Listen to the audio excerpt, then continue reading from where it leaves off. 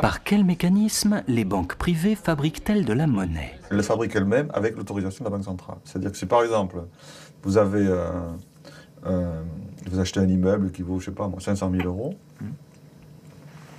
eh bien la banque va fabriquer 500 000 euros à partir de rien. Elle va vous me direz, elle ne fabrique pas 500 000 euros de billets. Si, elle fabrique 500 000 euros de billets qu'elle peut vous donner. Sauf que c'est une écriture, parce que vous n'allez pas chercher pour payer votre immeuble 500 000 euros en billets. Vous le paierez euh, par chèque.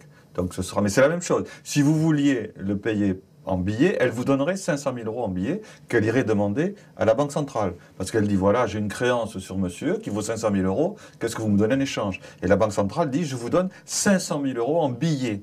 Sauf que comme ces, billets ils sont jamais demandés, ça reste, ça circule sous forme d'écriture. Mais c'est bien d'acquérir. Il faut bien comprendre ça. Quand on a compris ça, on a tout compris la monnaie. C'est que la banque fabrique à partir de rien de l'argent. C'est le métier de banquier. La banque crée ex nihilo de l'argent. Ça, c'est quelque chose qui est très difficile à comprendre. Pour créer de l'argent, une limite est toutefois posée aux banques commerciales. Elles doivent déposer à la Banque centrale une partie de leurs avoirs qui agit comme garantie. Contre un euro déposé en garantie à la Banque centrale, les banques ont l'autorisation de créer 9 euros supplémentaires. Le livret d'un client à 10 000 euros permet à la banque de créer 90 000 euros. La multiplication du crédit est sans limite.